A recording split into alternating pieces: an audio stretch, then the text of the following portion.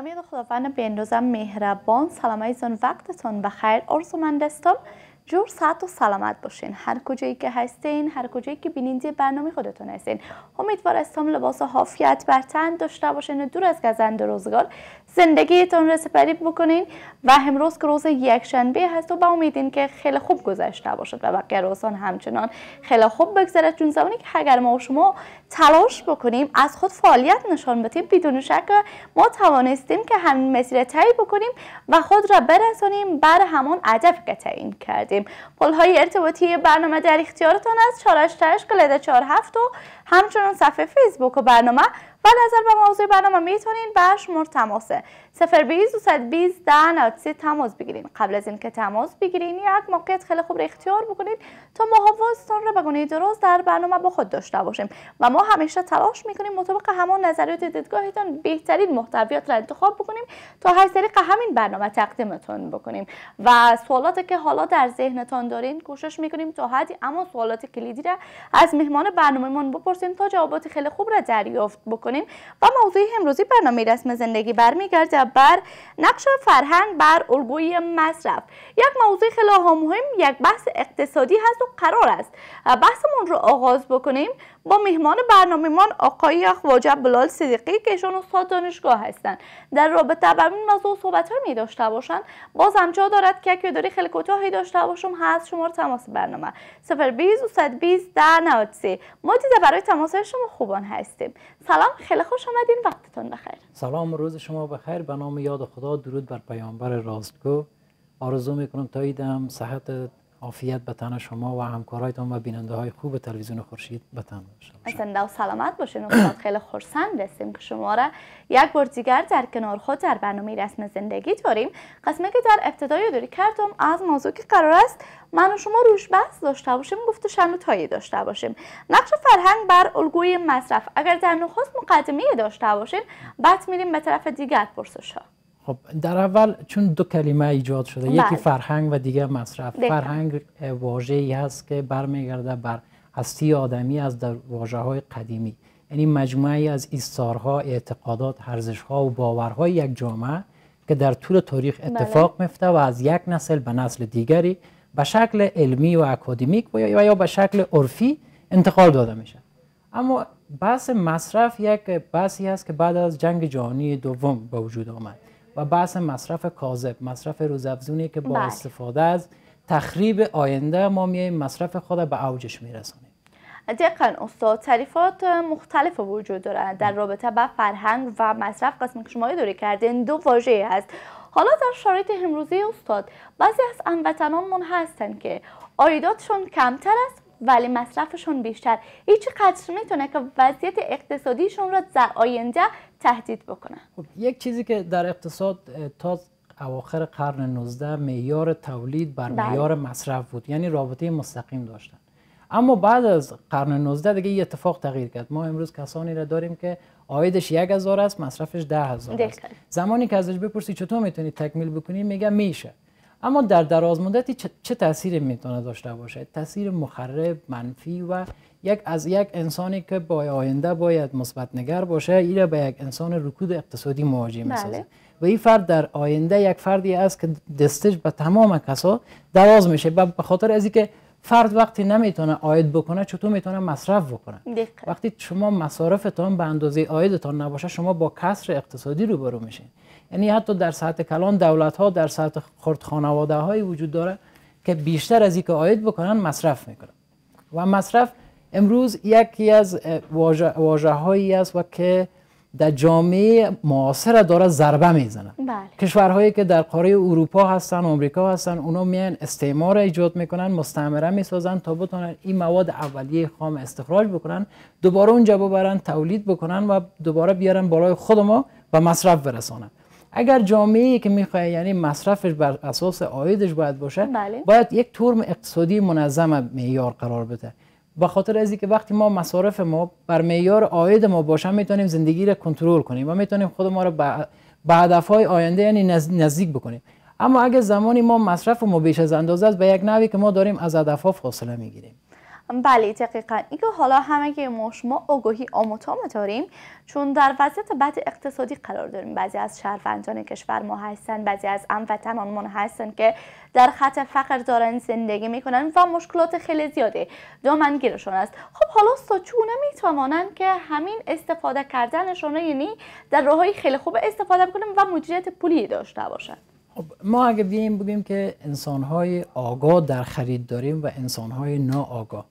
یعنی کسی که از خانه میه بیرون میره تا نظر به جیبش مصرف بکنه پیش از پیش پلانش تعیین شده است بله. که من میرم به بازار فلان چیز می‌خرم اما ما وقتی میگیم جوامع مصرفی تنها خواست خود مشتری نیست یعنی مشتری رو ترغیب و تشویق هم می‌کنن بله. ناخودآگاه جامعه سرمایه‌داری کار می‌کنن شما فرض بگیرین که مسئله است وقتی میرین به کتابخانه می‌خواین یک جلد کتاب مورد نظرتان بخرید بله. اما اونجا با یک نوی با تعداد زیادی از کتاب ها رو برو میشین که بیادتان میاد که فلانی گفته بود این کتاب بخر فلانی گفته بود این کتاب بخر. شما ناخودآگاه ترغیب ترغیب میشین که بیاین این کتابا رو بخرید یعنی شما از مسیر هدف معینه اولیه‌تان آمدین خارج شدین. پس ما می‌بینیم اگر می‌خوایم ما راه حل برای ازی داشته بله. باشیم با یک معیار درست رفتار بکنیم باید یک چیزی رو در نظر بگیریم این است که رابطه اقتصاد رابطه مستقیمی داره با موفقیت های زندگی. در هر بخش وقتی ما میایم بحث می‌کنیم اقتصاد بحث اول است. حتی در روابطی که امروز خانواده ها دارن. خانوادهایی که مرفه هستن از لحاظ بله. اقتصادی فرزندانشان هم می‌تونن خوبتر تحصیل بکنن و در آینده خوبتر بدرخشن. خانوادهایی هستن که با مشکل اقتصادی روبرو هستن اینا در آینده همین تاثیر منفی بالای فرزندانشان به یک نوی انتقال پیدا می‌کنه از یکی به یکی دیگری به یک نوی او فکر می‌کنه وقتی پدرم یه همه نادار است ناتوان است بدبخت است من هم در آینده شاید همین تو باشم. دقیقا. اگر ما نگاهی داشته باشیم بر مشکلات که فعلا گیر هموطنانمون شده. پس یک نکته که ما مکررا تکرار کردیم بر تک تک شما حیزانی که تا زمانی که اگر می‌خواین که موفق باشین و خیلی خوب باشین و زندگی مرفعی داشته باشین در کنار عزیزانتان حالا کسانی که در کنارتان هستن در چرگوشه ایتان هستن. پس بیشتر تلاش بکنین و همان هدف که تعیین کردین همان مسیر تعیین بکنین. هیچگاهی دل نادل نباشین در مقابل هدفتان چون زمانی که اگر ما شما دو دل باشیم یا هم دل نادل باشیم ما نتوانستیم که بازم خیلی موفق بدرخشیم. راه های ارتباطی برنامه در اختیارتان است. چهار کلده چهار افت و همچنین صفحه فیسبوک برنامه. و شمار تماس برنامه 020 220 ده وقفه خیلی کوتاه. دوباره برمیگردیم. دیده برای تماس شما خوبانه هستیم. سلام دوباره خدمت تک تک شما دوستان برنامه آرزومند هستم جور ساعت و سلامت باشین. خیلی خوش آمدین در ادامه برنامه رسم زندگی قرار داریم. جا دارد که بازم یک یادداری خیلی کوتاهی داشته باشم. هست پل های ارتباطی برنامه. دنیای مجازی برنامه رسم زندگی. صفحه فیسبوک برنامه. صفحه ما را لایک بکنین و نظریاتتون بر ما بفرستین و همچنین به 488 تماس گرفته. بعد کلید 4 پس پس افت را فشار بدین. پایمای صوتیتون رو بر ما بفرستین و نظر به موضوع برنامه می‌تونین. با شماره تماس 020 220 10 تماس بگیرین. موضوعی که قرار بود ما روش بحث داشته باشیم. البته جناب استاد خواجه بلال صدیقی که شان استاد دانشگاه هستند در رابطه با نقش فرهنگ بر الگوی مصرف نکات خیلی خوب را اداره کردن. خب حالا استاد ای که حالا همه ما شما آگاهی داریم که ما در یک کشور اسلامی و در جامعه سنتی زندگی می‌کنیم فرهنگ های مختلف وجود داره. در بعضی نقاط از افغانستان و بعضی از خانواده عزیزمان هستند که در بعضی از موافل مصرف گزاف می‌پردازن هیچ قدر می‌تونه تاثیرگذار باشد اگر ما مثال بتیم محفل شیرینی خوری محفل شب هنا و همچنان محفل عروسی. خب وقتی ما از مصرف گرایی یاد می‌کنیم به یک بله. نوی ما می‌بینیم که حتی در روابط ازدواج یا نامزادی بحث های عاطفی احساسی هم تاثیر گذار شما وقتی با, کسانی رو می‌بینید که بیشتر مصرف می‌کنن به یک نوی طرفش که اون نامزادش است از او ناخداگاه احساس رضایت می‌کنه و او را میپسنده در حالی که مصرف گرایی کاذب به معنای از است که فرد خودش وابسته به امو تعاملات مصرفی نامزادش مقایسه می‌کنه. یعنی ارزش خدا جایگاه خدا پرستیج خدا میاد در این مصرف های بیجا مقایسه می‌کنه.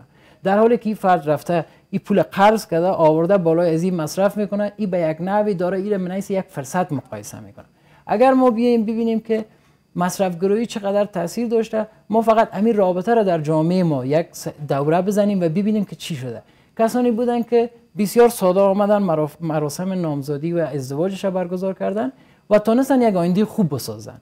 و کسانی هم بودن که در اول بسیار آمدن با شان و شوکت یک, یک محفل برگزار کردن اما بعدها دیدیم که به یک نوع بینشان یک نارضایتی ایجاد شد.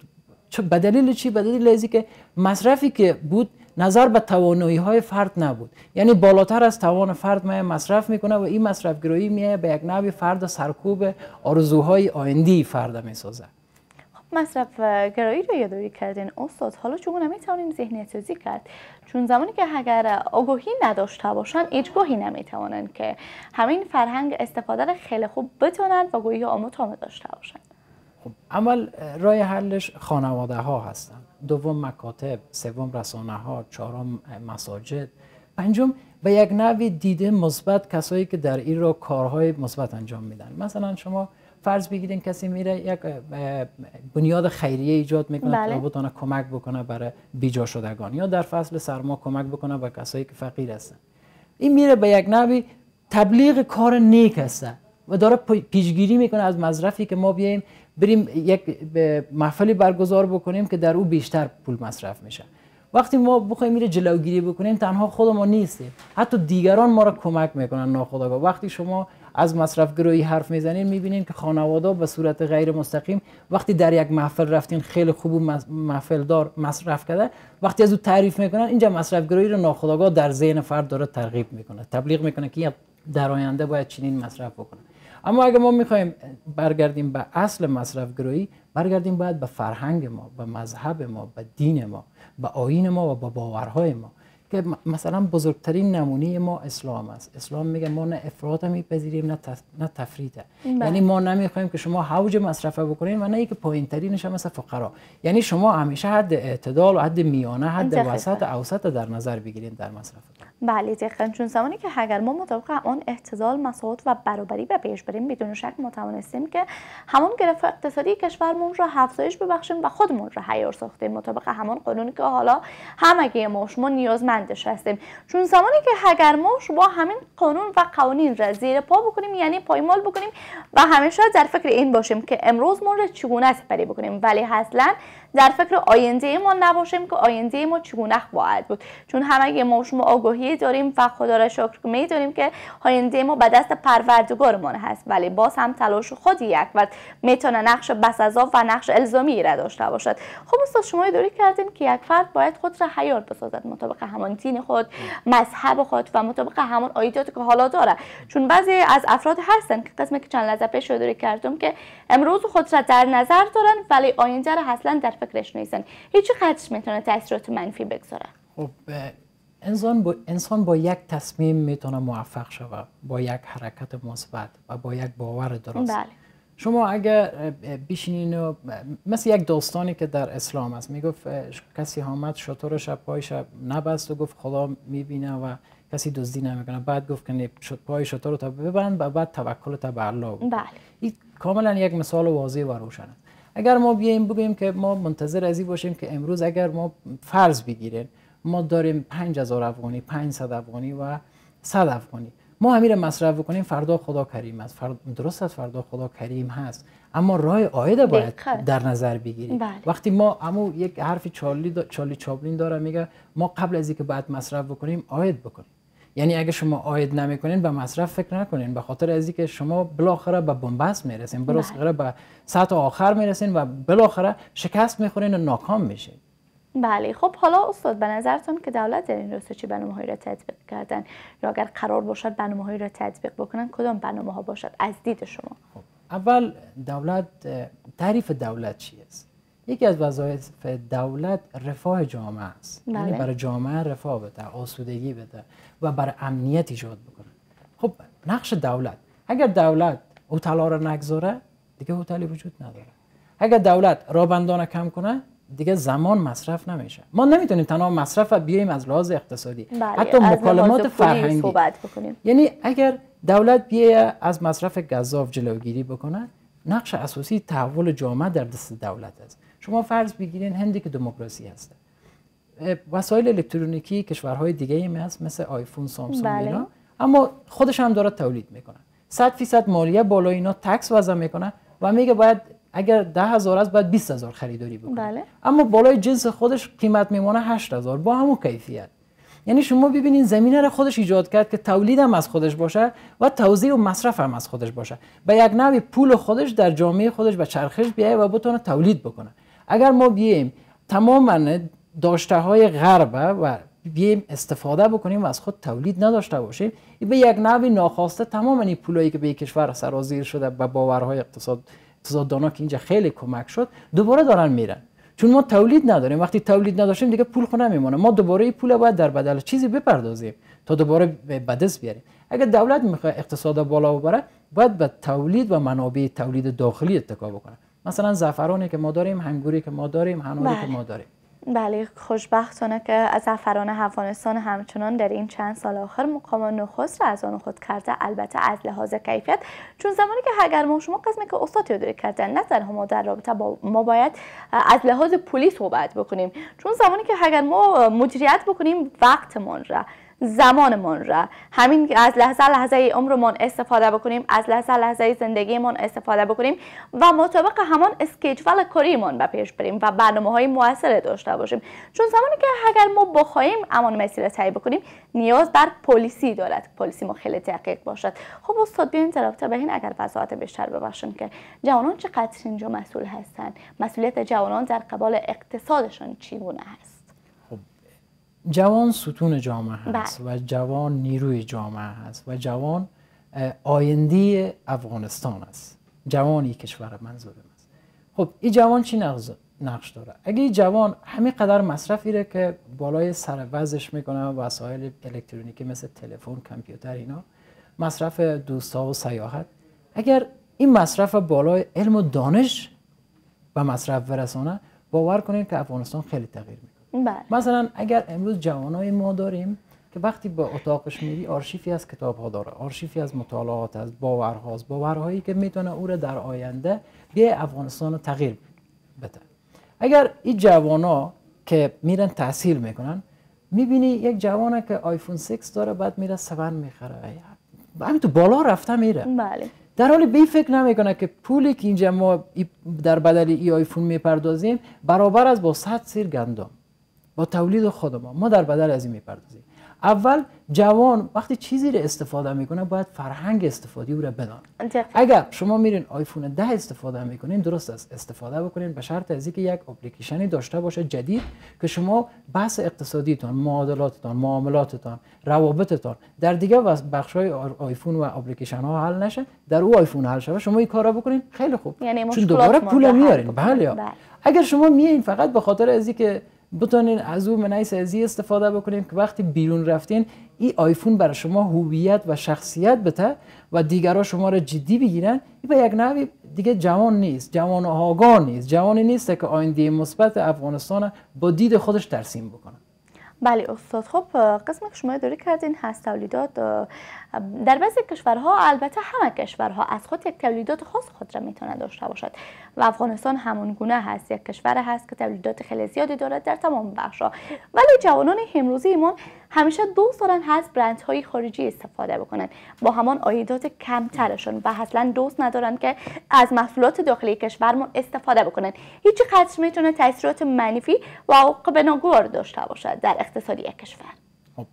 اول برندها خدایان مدرن هستن بله. خدایانی که حرف می‌زنن هویت دارن و ملکیت هایی رو امروز خریداری می‌کنن این برندها دیگه لوگوهای تبلیغاتی جوانان مدرن هستن بله. که جوانانی که فکر می‌کنن اگر من از برند نایک استفاده بکنم خیلی خوب است اگر من از موتر بی ام استفاده بکنم خیلی خوب یعنی برند های مختلف بله. وجود داره بله. یعنی وقتی از این برند ها استفاده می‌کنن از هویت من اصلیشون اینو فرار می‌کنن.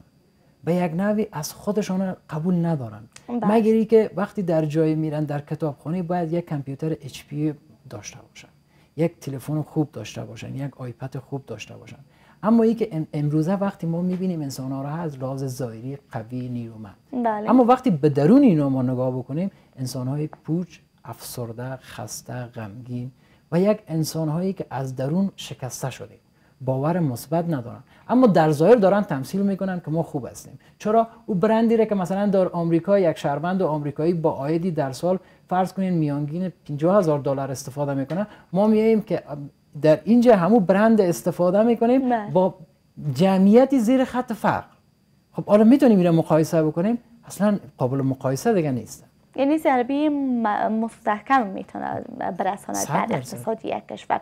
چون زمانی که اگر ما ببینیم وضعیت اقتصادی صفر هست و بعضی از هموطنانمون هستن که در خط فقر زندگی می‌کنن ولی همیشه دوست دارن که هست لوازم برند استفاده بکنن. که چقدر می‌تونه تاثیرات منفی بگذاره روی اقتصادتون پس بیاین که توجه داشته باشین بر این همه نکاتی که حالا خودتون دوست دارین. چون زمانی که اگر همین نکات رو تطبیق بکنین در زندگیتون بدون شک ما توانستیم در یک فضای خیلی خوب در یک فضای پر از آرامش و آسایش زندگی بکنیم. خب استاد شما داری کردین هست هویت فردی و هویت ملی کشورمون.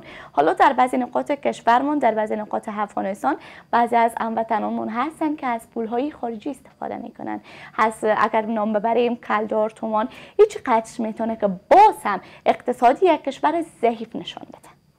اول یک چیز باید در نظر بگیریم اینکه پول هویت ملی ما هست. دقیقا. پول افتخاری است که ما بحث تبادلی امروز ما با او گرفتیم. بله. و پولی هست که ما را امروز در جامعه ما من حیث هدف معرفی می‌کنه. وقتی ما می‌بینیم در بعضی از ولایات پول مثل کلدار یا تومن تبادل میشه باید ببینیم که نقش دولت در اونجا چقدر مثبت بوده. مثلا در ولایت ننگرهار از اونجا چون کلدار استفاده میشه پاکستان علنا داره بر اونا فرصت ها را مساعد می‌کنه تا بیان اونا کلدار در بازار بله. معامله بکنن. یعنی بیشتر زمینه ها مثلا معاملاتشون به کلدار هست خب وقتی شما این کلدار را به افغانی تبدیل می‌کنین شما به یک نوی ضربه اقتصادی خوردین. شما می‌بینید در او ولایت ننگرهار به یک نوی سیاست های پاکستان از لحاظ اقتصادی فرهنگی اجتماعی داره جا میافته. مثلا بله. در ناحیه شنواری جلال آباد شما که برین مردمش به یک نوی تعلق و هویتی خود برمیگردونن به پاکستان. بله. در, در حالی که اونا دارن در خط مرزی افغانستان زندگی می‌کنن در نقشه جغرافیایی ما زندگی می‌کنن و تذکره تابعیت ما را دارن. اما وقتی بحث همراهشان باز می‌کنی به یک نوی بیشتر خود برچسب میدن به پاکستان. چرا؟ چون زمینه های اقتصادی سیاسی فرهنگی را بر اینا مساعد ساخته مکاتب برسان ساخته. اما دولت در اینجا چی می‌کنه؟ دولت به جای ازی که بیایه پول افغانی رو در برابر کردار ارزشش بیشتر بسازه و برای تجار مثلا دکاندارا مردم محل بیا فرصت هایی را مساعد بسازن. من پاداش جایزه. بله. من یک کسی که من شرمنده خوب از تقدیر می‌کنه. مثلا یک فردی را شما می‌بینید که در جلال آباد تنها پول افغانی را میه معامله می‌کنه در معاملات اقتصادی. وقتی شما این را بیارین در رسانه ها تقدیر بکنین ناخودآگاه ده نفر دیگه تغییر کرد. و اگه ده نفر یکی دیگه تغییر بکنه شما می‌بینید که تحول مثبت آغاز میشه. بله دقیقا استاد نکات خیلی خوب را اداره کردین. فکر کنم وقت برنامه هم رو به اتمام است. خب حالا استاد اگر عرف آخر باقی مونده خیلی کوتاه اشاره بکنیم یک چیزی که هست ایره می‌خوایم بگیم که ما وقتی فرهنگ میگیم برگردیم به فرهنگ اصیل افغانی خود ما حتی در مصارف. و هر جوانی که می‌خوایم مصرف بکنه یک بود فقط مصرف بکنه. او علم است او دانش است او باور هاست. و اگر می‌خواین از برندها استفاده بکنید این برندها در آینده باعث ضعف جوانی شمایی هست که پیریتان به احترامش بر نمیخیزه و اگر می‌خواین علم به کار بگیرین که در آینده شما برند بسازین. ممنون از شما استاد هزی که تشریف آوردین در برنامه امروزی ایمان. اگر می‌خواین که هویت ملیتون را حفظ بکنین پس از پول افغانی کشورمون استفاده بکنیم. که بود برنامه امروز که تقدیمتون کردیم. تا سلام و فرصت و دوباره خدا و نگهدارتون. همیشه موفق باشید.